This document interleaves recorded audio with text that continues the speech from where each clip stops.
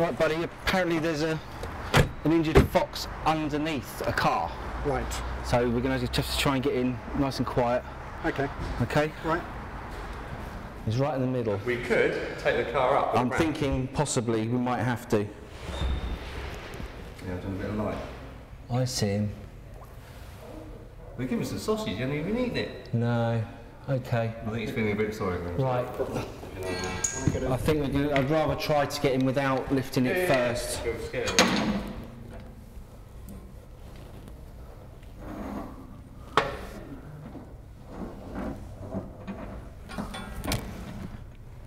Got him. This one doesn't lock. Not yet. Front think, front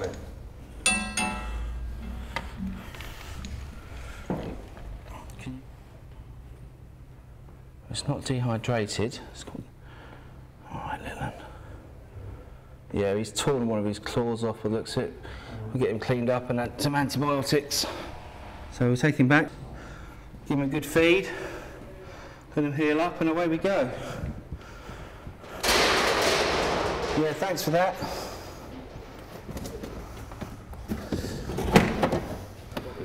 Thank you very much.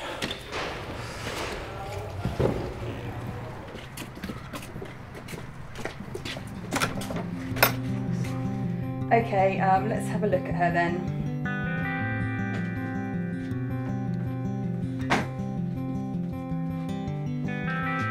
Oh, this is not looking good.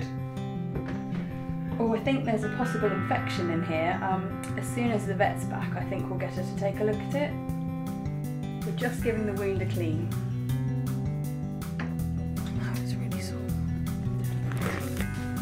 For now, I think all she needs is a bit of rest, so we'll leave her here to recuperate in the safety of the hospital.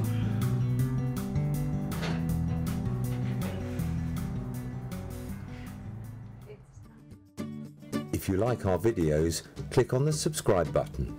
Every new subscriber means we can save more wildlife.